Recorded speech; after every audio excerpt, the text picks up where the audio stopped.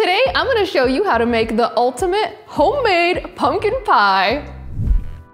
Ugh, get back here. hey everybody, it's Natasha of natashaskitchen.com and you guys are gonna love this pie. It is simple to make and it is worth it to make your own because the filling is so creamy and then that crust crisp, flaky, buttery perfection. I'm gonna show you how to do this the right way and you'll never want store-bought again. This is so good. So let's get started because I want some pie. I'm using one disc of our amazing homemade pie dough. I do have a video tutorial on how to make this and I will link that in the notes. This is the only pie dough recipe you will need. This dough has been chilling in the refrigerator and we're gonna roll it out. Dust your work surface with flour, then roll the pie disc into a 12 inch diameter circle. I love that you can see the bits of butter in the homemade dough. That means it's going to be flaky, buttery, and so good. Move the dough around every now and then to make sure it's not sticking to your work surface, and roll it into an even circle. We're gonna transfer that to a 9 inch glass pie pan. I will link to my favorite glass pan in the notes, and whenever I'm pre-baking a crust, I love using a glass pan because it heats up really well, and you can see through the pan to make sure that the crust is done. Here's our favorite trick for transferring a pie crust. Loosely wrap it around a rolling pin, then simply unwrap it into your pie dish. It looks like I had just a little bit too much flour on my work surface, so I'm gonna dust that off real quick with a pastry brush. Now center your crust right over your pie pan. Mold your dough to your pan and make sure that you're pushing it in from the sides rather than pushing down in the center because you don't want to stretch your dough. You do want some overhang on the pie crust, and you can use some scissors if you didn't have a perfectly even center to even out the top. Our goal is to build up the crust so we can have plenty of crust to crimp the edge. Tuck in the excess dough to create a thick border. And the process of crimping is really simple but will make your pie look really fancy. To create the fluted edge, push at the edges with two fingers on one hand and, using one finger on the other hand, push the dough between the other two fingers. This process takes less than a minute but will make your pie look professional. Now this is super important. When pre-baking a crust, you wanna make sure it is fully chilled. So we're gonna cover that and put it in the freezer for 30 minutes, or you can refrigerate for one hour. Once that crust is ready, you're gonna preheat your oven to 425 degrees Fahrenheit. A properly chilled crust will feel very firm. Now we're gonna put pie weights into the center of your pie. When pre-baking, pie weights will help keep your crust from sagging down and bubbling up at the base. Cut a piece of parchment paper into a circle to fit your pie pan, then wrinkle it up well. This will help it ease into the pan so that the weights can form around the crust. You can either use traditional pie weights, and I'll link to those in the notes, or you can just use a pound and a half to two pounds of dry beans. You want to fill it 3 fourths full with pie weights. Pour the dried beans into the parchment paper, then mold them to your crust. Now we're gonna blind bake or pre-bake that pie crust in the oven at 425 degrees Fahrenheit for 17 minutes. You wanna make sure the crust starts to turn a light golden brown at the edges. Next, we're gonna remove the pie weights very carefully because there may be some hot steam. And you can keep those beans to use again for another pie or to use in a recipe that calls for dry beans. You'll notice once you take the beans out that the bottom might start to bubble up. You want to poke all over the bottom with a fork. The little holes will allow any trapped steam to escape and will keep the crust from puffing up. Here's another little trick to keep the crust from getting soggy. Take a little bit of raw egg white and brush it over the base of the hot crust. The egg white will help seal the crust. Now we're gonna put that back in the oven at 425 degrees Fahrenheit for another 5 minutes or until the bottom looks dried. Once the crust is pre-baked, remove it from the oven and set it aside to cool completely before making your filling. Also, good news, you can pre-make that crust a day or two ahead. Now that our crust has cooled, we will make the filling.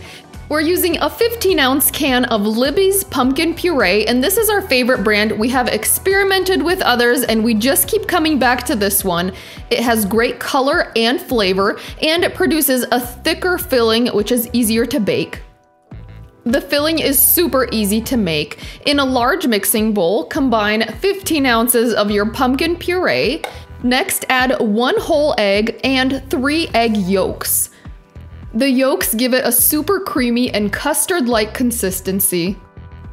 Next, add half a cup of packed light brown sugar, 1 4th cup of granulated sugar, a teaspoon of pumpkin spice, half a teaspoon of cinnamon, half a teaspoon of salt, and a teaspoon of real vanilla extract. We do love our homemade vanilla extract. It's just two ingredients and I will link to the recipe in the notes. Whisk that together until it's well incorporated. Now last but not least, add 12 ounces of room temperature evaporated milk. This gives the pumpkin pie a smooth, silky consistency. Whisk that together until it's really well blended and you've broken up the air bubbles with your whisk. Just like with the cheesecake, if you have any big air bubbles in your mixture, it's more likely to crack. Now pour the pumpkin pie filling into your pre-baked crust and bake that in a preheated oven at 350 degrees Fahrenheit for about 55 to 60 minutes or until the pie is nearly set in the center. You can insert a knife into the center and if it comes out clean, it's ready, but doing that does cause the pie to crack. So I like to give it a little jolt, should be completely set on the edges and have just a slight wiggle in the center. Once that's out of the oven, transfer it to a wire rack and let it cool completely to room temperature. Our pie has been cooling for a few hours and we're ready to make a whipped cream topping. In a large mixing bowl, add 1 cup of heavy whipping cream and beat that on medium speed until soft peaks form. Next, add 3 tablespoons of granulated sugar and flavor that with half a tablespoon of golden rum and half a teaspoon of vanilla extract. Now you can add the rum to taste, but a little bit goes a long way. Continue beating the cream on medium-high speed until medium stiff peaks form. I like to beat just until it's stiff enough to keep its form when it's piped with a piping bag. I'm gonna transfer that cream to a large pastry bag that I have fitted with a large open star tip. You can pipe that over the full pumpkin pie or pipe it over individual slices. That rum infused whipped cream literally takes two to three minutes to make, but makes this pie next level delicious. Once your pastry bag is primed, it's time to serve the pie. All right, our pie is cooled down completely to room temperature. Our whipped cream is ready. All that's left is to serve this up. And I'm excited because I am just crazy about pumpkin pie. I fell in love with the store-bought pumpkin pie. That's the first one that I ever tried.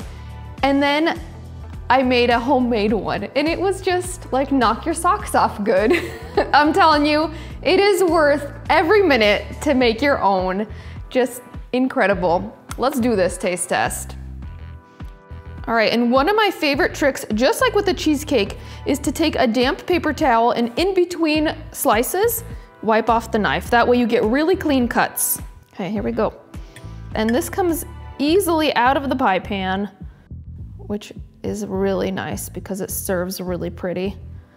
Ooh, look at that. Look at that. okay, here we go.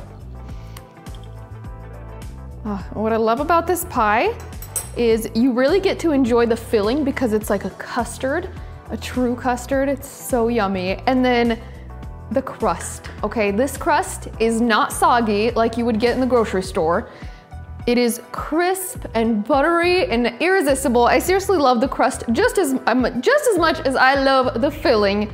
All right, and then we are going to add some whipped cream to finish this off. I cannot wait to dig in. okay, here we go. Okay, pipe a generous puff there. You can also spoon it on if you want to. All right, here we go. You ready? I'm ready. oh, look at that. It is so creamy. Yum.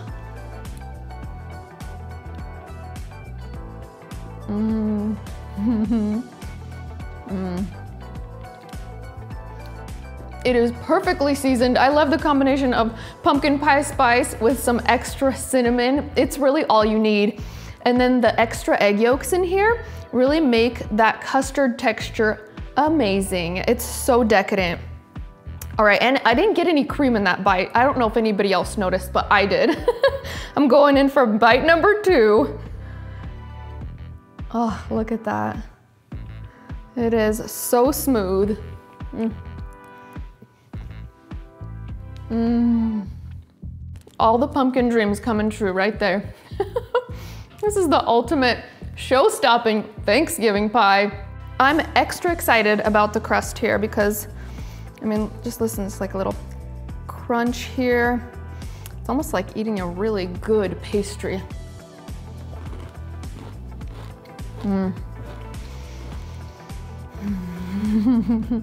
it's the same crust we use for all of our pies. It's so easy to make. We have a video on it. Make sure you check that out. Watch it. You'll be a pro in no time. And the best part is you can absolutely make the crust ahead of time, even one or two days ahead to make your holiday pie making even easier. I hope this becomes your new favorite Thanksgiving pumpkin pie. And we'll see you in our next video.